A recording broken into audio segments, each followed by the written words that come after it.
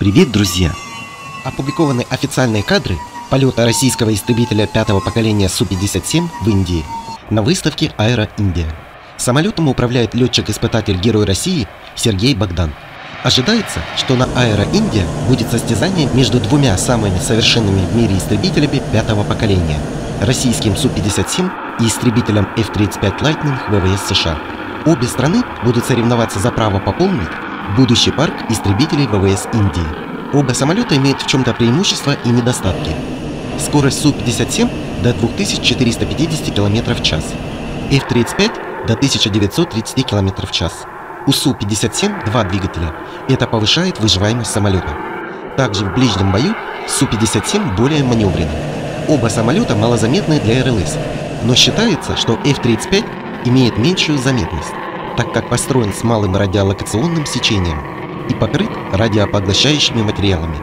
Стоит отметить, покрытие F-35 восприимчиво к солнечному свету, соленому ветру и полету на сверхзвуке. Оно начинает слазить. Его нужно обновлять каждые 2-3 года. При хранении самолета на солнце покрытие портится за 3 месяца.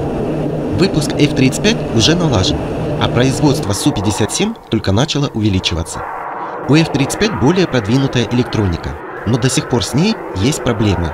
Об этом много информации в сети. Самая дальнобойная ракета АМ-54 «Феникс» класса «Воздух-воздух» самолетов F-35 имеет дальность полета до 184 км. Ракеты Р-37М самолетов Су-57 могут поражать крупные цели на дальности до 400 км. Информация о них есть на канале. Ориентировочная стоимость Су-57 около 35-40 миллионов долларов. F-35 от 80 до 100 миллионов долларов.